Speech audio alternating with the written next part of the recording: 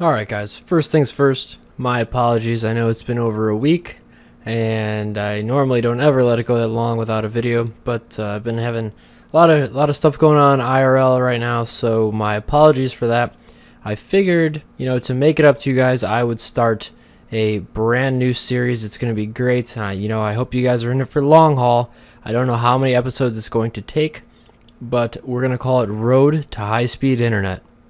This is where I would insert the inception button. So, um, let's try that one more time. Oh, I already got it up there. Road to high speed internet. That's more like it. So, uh, the first thing we need to do here is go to speedtest.net and see where exactly, you know, what kind of internet I have here. Keep in mind, I'm a level 1.